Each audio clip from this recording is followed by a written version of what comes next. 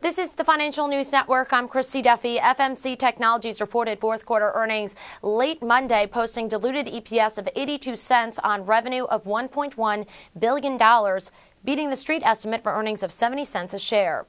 Total orders for the quarter were $1.6 billion, up 121% from fourth quarter 2009, also boosting full year orders to a record $4.1 billion.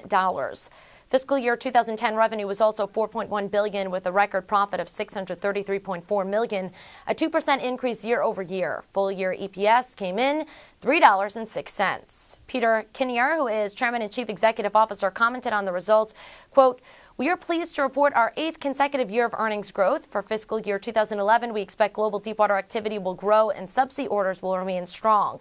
Our estimate for 2011 diluted earnings per share is $3.20 to $3.40. For further updates, stay tuned. You're watching the Financial News Network. I'm Christy Duffy.